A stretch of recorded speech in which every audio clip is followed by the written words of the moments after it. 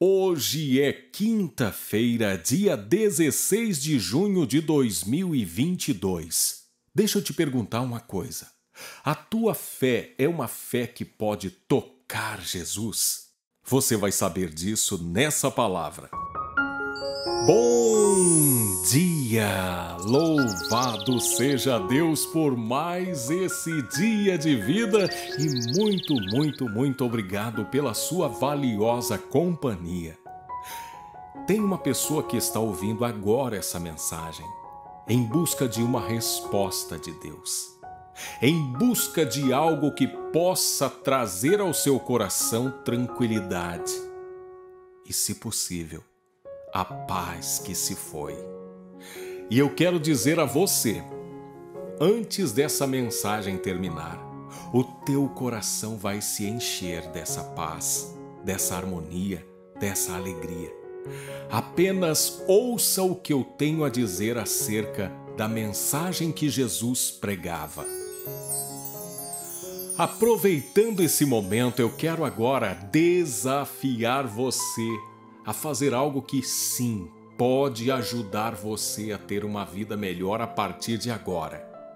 É você dar um passo de fé em direção ao teu milagre. Sabe como? Colocando aqui nos comentários o seu nome, a causa pela qual você quer uma oração. Ainda que você já nem creia mais naquilo que a oração pode fazer, eu te faço esse desafio Experimente escrever para ver o que vai acontecer. Eu não tenho dúvidas de que Deus está agora olhando para você. Então, dê um passo de fé, coloque aqui o teu nome e deixe o resto nas mãos de Deus. Eu quero orar para que Deus faça algo extraordinário na tua vida hoje.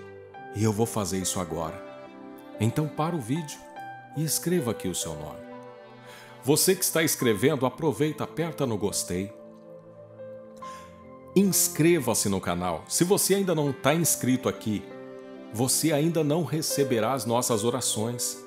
Se você se inscrever agora, você não vai pagar nada e você vai me ajudar muito.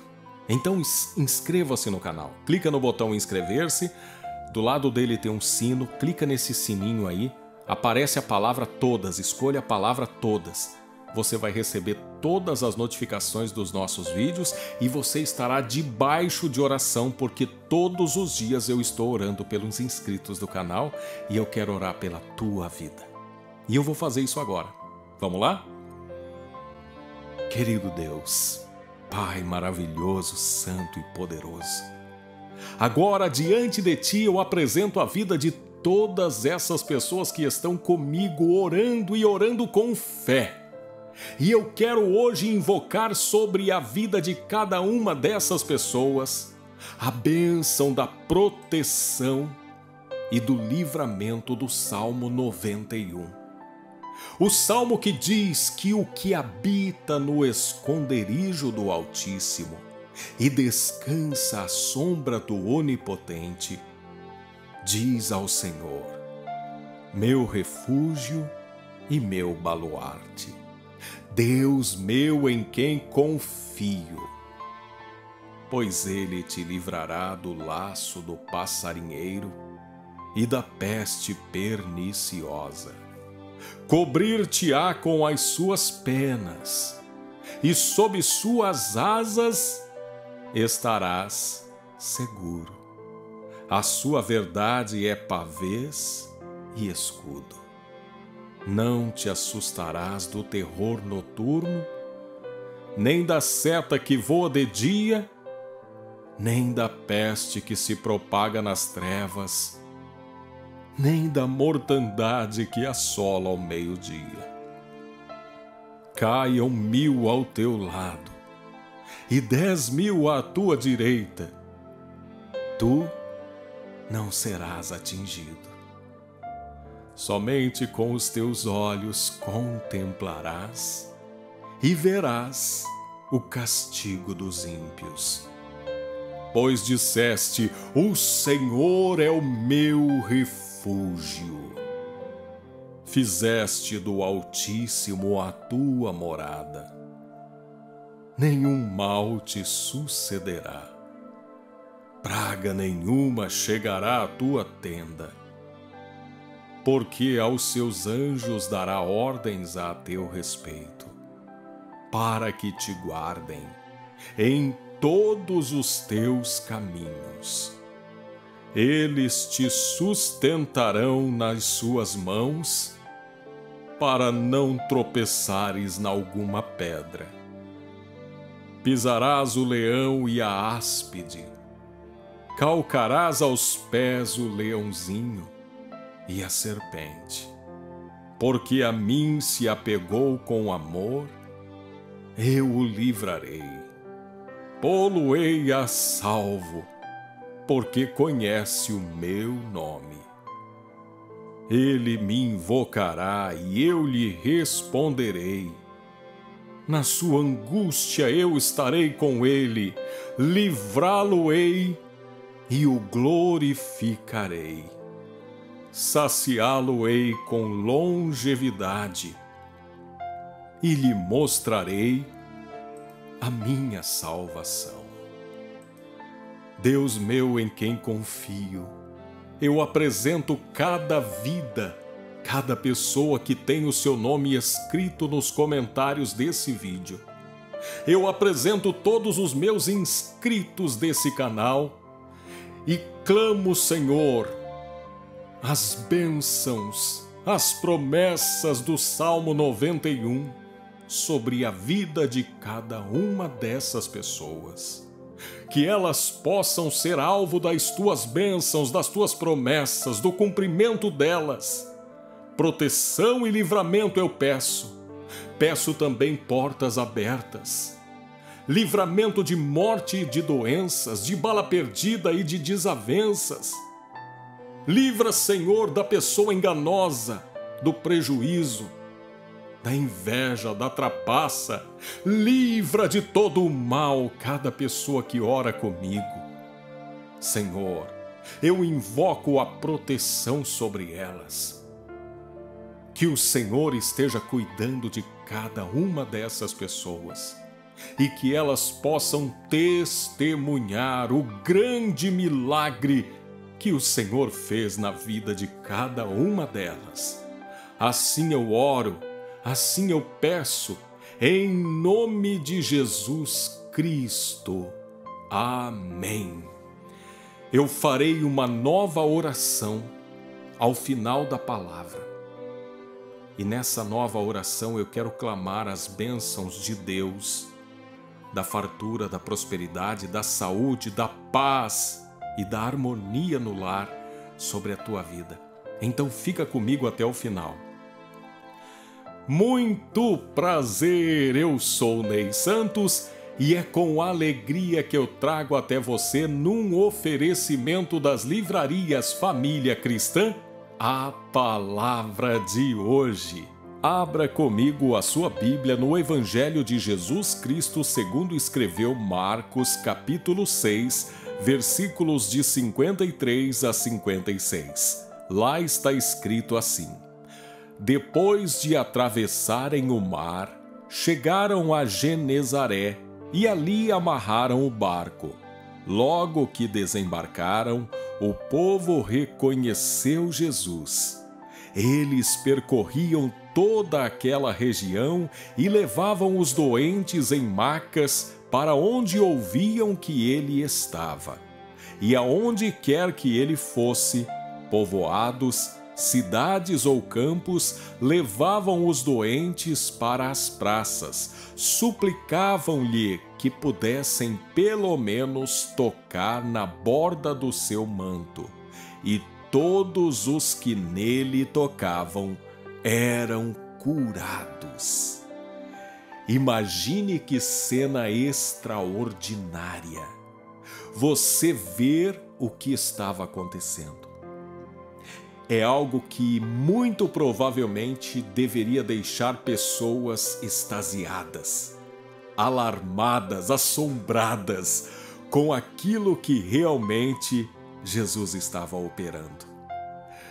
Já imaginou você ver pessoas que desde a sua infância você via aquelas pessoas às vezes doentes, ou paralíticas, ou cegas, mudas, surdas, e de repente, ao tocar em Jesus, aquelas pessoas fossem totalmente curadas. Já imaginou o espanto das pessoas? Eu imagino que é isso que acontecia com muitos. De fato, aquelas pessoas eram totalmente curadas. Não eram parcialmente curadas, mas eram totalmente curadas. E aqui tem um ensinamento que nós precisamos acolher.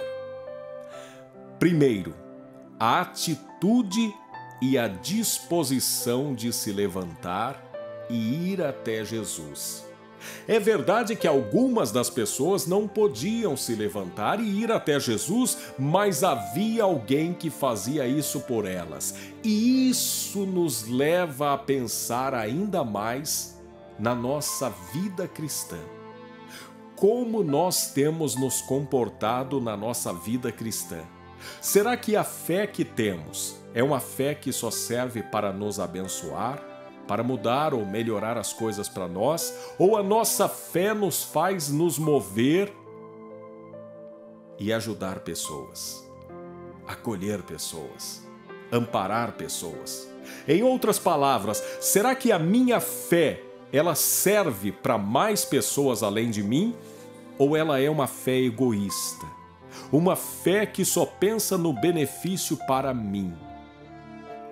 Aqui haviam pessoas desprendidas, pessoas solidárias, pessoas com um coração cheio de bondade, ao ponto delas pegarem os doentes e levarem até Jesus. E aqui tem um princípio que vale a pena você refletir. Quando alguém faz algo para o seu semelhante, automaticamente Deus faz algo para esse alguém.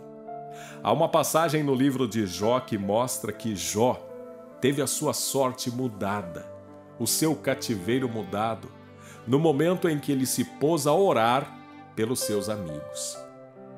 Jesus já disse que melhor é dar do que receber, e isso também nos faz pensar quanto de nós temos nos dado a alguém, a uma causa. A segunda coisa que eu observo aqui é que as pessoas percorriam grandes distâncias para ir até Jesus. E isso também mexe com a gente. Porque hoje muitos de nós temos a facilidade de nem precisar sair de casa para nos conectar com Jesus, para buscar a Jesus para entrar em sintonia com o céu. Porque Jesus, quando cumpriu a sua missão na terra, ele deixou uma promessa e cumpriu essa promessa.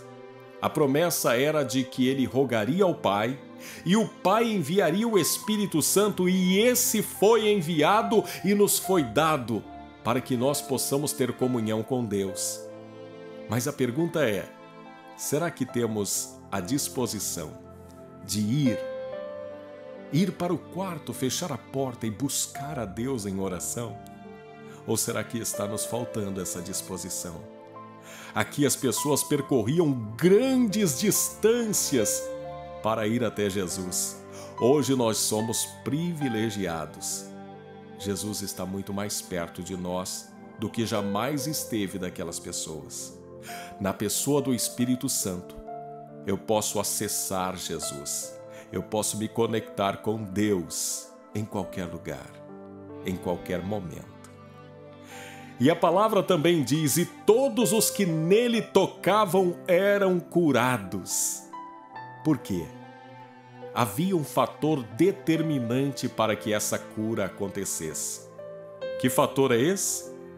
A fé.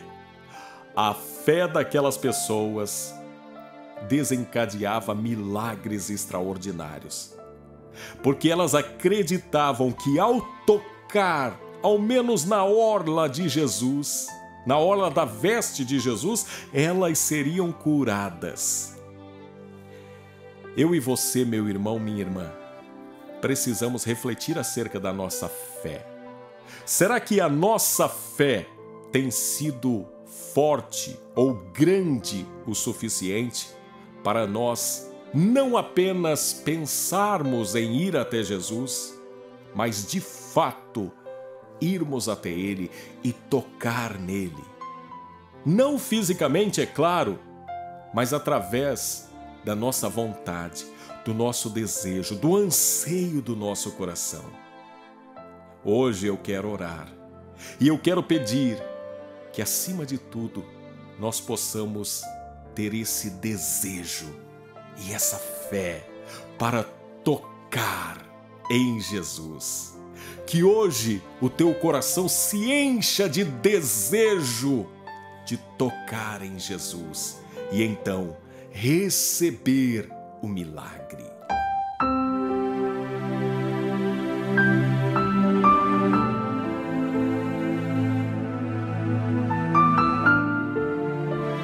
Pai amado, Pai querido, Pai de amor e de bondade, nessa hora santa e bendita de oração, eu peço, Senhor, olha para cada coração. Há pessoas que estão hoje precisando de um milagre urgente em suas vidas. Há pessoas que precisam de alívio, de paz, de refrigério na alma. Há pessoas que precisam de uma cura física. Tem pessoas nas UTIs, nas enfermarias, nos hospitais lutando pela vida e para muitas dessas pessoas, só um milagre é que pode resolver. Por isso eu clamo e peço agora, Senhor, visita cada pessoa que foi mencionada aqui nesses comentários. Visita cada enfermo, cada doente. Que o Senhor possa ser o remédio, a cura e a salvação de cada uma delas. Eu peço, Senhor, visita o aflito, o angustiado, aqueles que estão com feridas na alma, que foram vítimas de traumas, pessoas que estão em depressão, pessoas que têm sido oprimidas por lembranças, por cobranças, por acusações. Senhor, aquieta esse coração Traz paz e refrigério para essa alma, alívio, Senhor, para essa vida. Eu oro também pelos endividados, pessoas que estão com as suas finanças completamente destruídas. Eu peço recursos, ó Pai. Eu peço portas de emprego, causas na justiça. Eu peço visita a essas pessoas com a tua bondade e derrama a tua prosperidade sobre essas vidas. Faça com que haja fartura na mesa, faça com que as portas se abram, que os clientes venham, que venha o emprego, a causa na justiça, a aposentadoria, a pensão, o benefício. Senhor, visita o teu povo. Eu peço a restauração para os casamentos, os relacionamentos fracassados eu peço, Senhor, faça uma transformação nessas vidas, traga libertação aos cativos, livramento de morte, de doenças, de prejuízos. Que o Senhor proteja cada pessoa que me acompanha agora e escreva para elas uma nova história, para a tua honra, para a tua glória, hoje e para sempre. Amém. Por favor, me permita fazer um apelo, um pedido. Se essa mensagem fez sentido para você e você quer ajudar essa mensagem a alcançar mais pessoas, compartilhe. Mas você pode ir além. Você pode apertar nesse botão Valeu e nos ajudar nesse canal. Clica nesse botão Valeu. Ali você pode destacar o seu comentário e ainda enviar uma ajuda para o canal. Se você fizer, eu tenho a mais absoluta certeza de que você vai receber as bênçãos de Deus da recompensa pela sua generosidade. Eu não tenho dúvidas de que Deus estará agindo na tua vida em retribuição à tua bondade. E eu já peço, Senhor, faça com que cada pessoa que enviar a sua ajuda possa receber cem vezes mais, para a tua honra, para a tua glória. Amém. Meu irmão, minha irmã, deixa o seu gostei. Se você tiver tempo para ver mais um vídeo, clica nesse vídeo que está aparecendo aqui, pois ele também pode abençoar a sua vida. Fique com Deus, eu tô indo com ele também.